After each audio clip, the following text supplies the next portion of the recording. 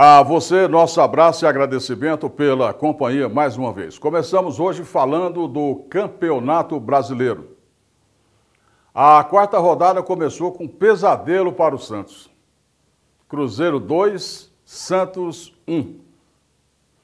O Fluminense esbarrou no Vasco da Gama, que marcou aos 30 segundos do primeiro tempo e resistiu até onde deu. Fluminense empatou 1 a 1. Mas foi um jogo muito disputado. Nós tivemos aí o América, que venceu bem na Sul-Americana e agora é lanterna do campeonato. Perdeu em casa para o Cuiabá por 2 a 1. O Bahia continua crescendo. 3 a 1 em cima do Curitiba. O São Paulo, São Paulo está conseguindo melhorar. O Dorival Júnior está dando um bom padrão ao São Paulo, que venceu o Internacional por 2 a 0. O Clube Atlético Paranaense venceu o Flamengo. O Mengão está em crise com seu elenco milionário, 2 a 1 para o clube paranaense. Outro jogo bem disputado foi com o Bragantino. O Bragantino disputou um jogo muito lá no Sul com o Grêmio, 3 a 3. O Renato Gaúcho teve problemas de saúde lá, né? ele não conseguiu reagir a esse 3 a 3. Goiás 0, Palmeiras 5. O Verdão acordou, hein? Até o Dudu fez gol. Fazia seis meses que ele não balançava as redes. Estava na seca. E o Botafogo 2, Atlético Mineiro 0. O Atlético Mineiro é outro grande que está entrando em crise com seu elenco milionário. O Atlético é a equipe que mais deve no futebol, ah, no futebol brasileiro e sua dívida passa de um bilhão e meio de reais. Contratou esse povo todo com esse dinheiro todo aí não virou nada. Agora, caladinho, comendo pelas beiradas, o Botafogo está ressurgindo das cinzas e hoje é a única equipe com 100% de aproveitamento no Brasileirão. Quatro jogos, quatro vitórias. Ah, mas você esqueceu do Corinthians. Esqueci não, o Corinthians vai sofrer hoje contra o Fortaleza. A coisa vai pegar hoje, hein? Sofre contra o Fortaleza hoje e quinta-feira contra o Botafogo. Mas vamos aos paulistas na quinta rodada. Quarta-feira agora, já dia 10 de maio, 19 horas, Santos e Bahia. Meu Deus. No mesmo horário, Bragantino e América. Às 21h30, Palmeiras e Grêmio. Grande jogo, hein? Na quinta-feira, dia 11, 19 horas, Botafogo e Corinthians. Antes, às 8 da noite, tem Fortaleza e São Paulo. Olha aí como é que ficou a classificação. Seis primeiros. Primeiro, Botafogo tem 12 pontos, 4 vitórias. Em segundo, Palmeiras tem 12 pontos, é, quatro vitórias também. O Cruzeiro tem nove, o Fortaleza tem sete, o São Paulo é quinto colocado com sete, o Fluminense também tem sete pontos. Bragantino tem cinco, Santos quatro e Corinthians três pontos e estão no rebaixamento. Corinthians, Goiás, Coritiba e América. Que situação, hein? Que situação. Eu falei agora há pouco que o Galo deve muito, mas não é só o Atlético Mineiro que deve, não. Olha a relação dos que devem. Primeiro, o Atlético Mineiro deve 1 bilhão 517 milhões. Onde foi esse dinheiro todo, gente? Em segundo, o Cruzeiro, também de Minas Gerais, 1 bilhão e 53 bilhões. Aí começa a sair do bilhão. Corinthians, 910 bilhões, terceiro colocado. Palmeiras, 875 milhões. Inter, 865. São Paulo, nono colocado, com 586 milhões. E o Santos é o décimo colocado, deve 539 milhões. É, devo, não nego, pago quando puder. Os clubes estão endividados e os jogadores bilionários. Ah, sabe quem comprou um, um jatinho assim só porque o outro estava com a pintura descascada? O Hulk pagou 70 milhões no jatinho para viajar. Minas Gerais, Pouso Alegre, Uberaba, quem pode, pode. Né? Gente, dia 26 passado foi o dia do goleiro. Posição difícil, hein? Eu me lembro que quando a gente era garoto, o mais ruim de bola ia pro gol. Nós aqui na frente é só quem sabe chutar. O cara ia pro gol. Aí a mãe do coitado, né, já viu, né? Os goleiros vão de herói a bandido em 90 minutos. Mas estão se destacando atualmente no brasileiro cinco goleiros. Veja aí. Lucas Perry do Botafogo, João Paulo dos Santos. Estão pegando até pensamento. O João Paulo, de vez em quando, escorrega a mão aí, entra um frango, né? Léo Jardim do Vasco, Rafael do Cruzeiro e Fábio do Fluminense completam o quinteto que está apavorando os atacantes.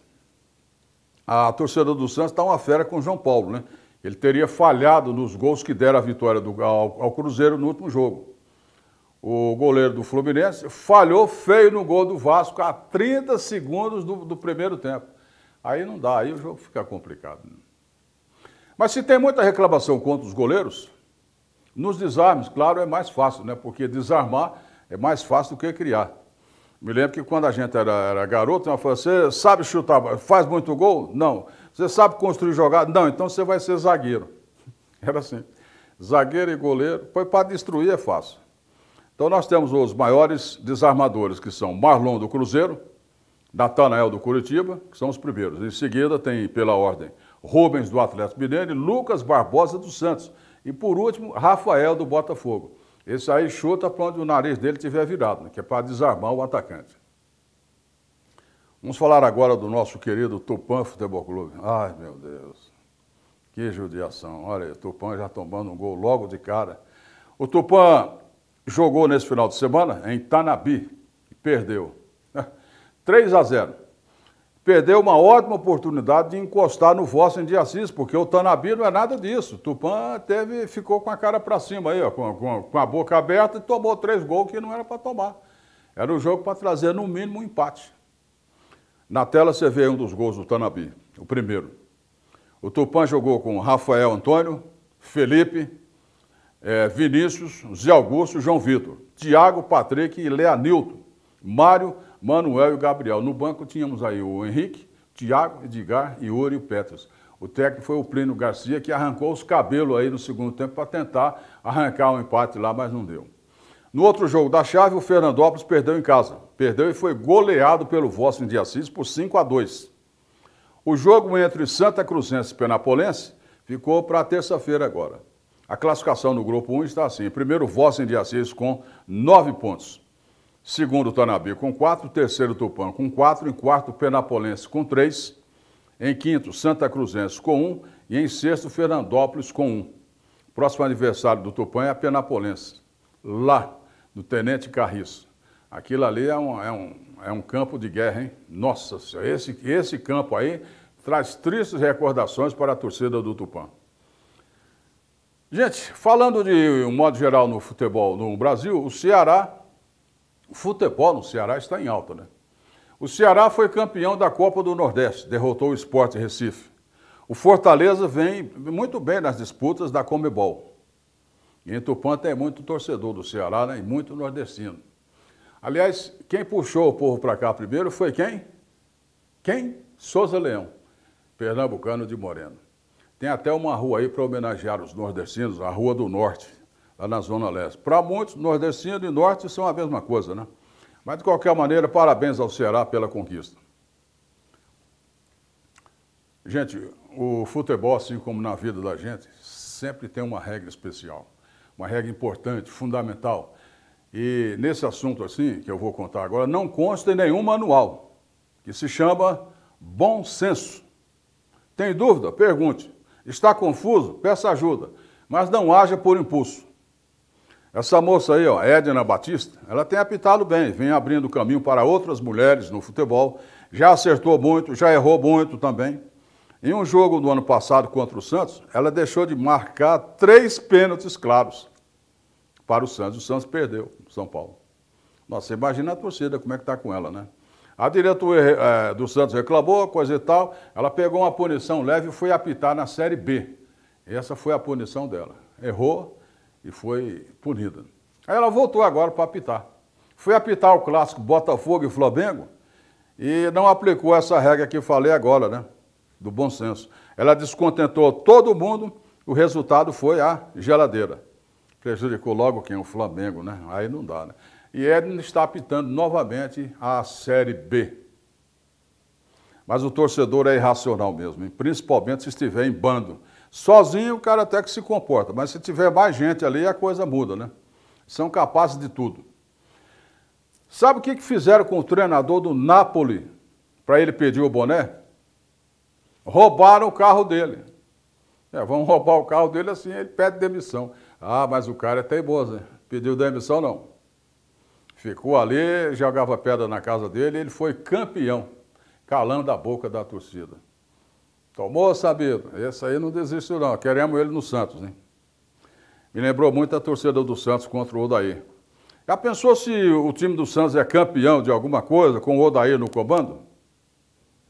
Bem, aí sem trocadilho, né, já estão querendo viajar na maionese. Lembrando que o treinador do Santos chama Odair Helmans. Mas tem jogador que eu vou te falar, hein? Cospe no prato que comeu. Olha o que foi que disse o William sobre o Corinthians. Não construí minha carreira profissional no Corinthians, então não posso dizer que tenho alguma ligação com o Corinthians. Eu sou grato, vivi minha base lá, mas saí de lá muito novo. E não tem história com o clube. Já pensou se tivesse? Agora por aqui ele não joga mais, fechou as portas, não. Diz que pretende encerrar a carreira na Europa, nos Estados Unidos ou na Inglaterra. Vai com Deus. Vai com Deus. Mais uma vez, nosso agradecimento. Continue aqui na TV Câmara. Temos vários assuntos na programação do seu interesse. Em esportes, por enquanto, é o que há.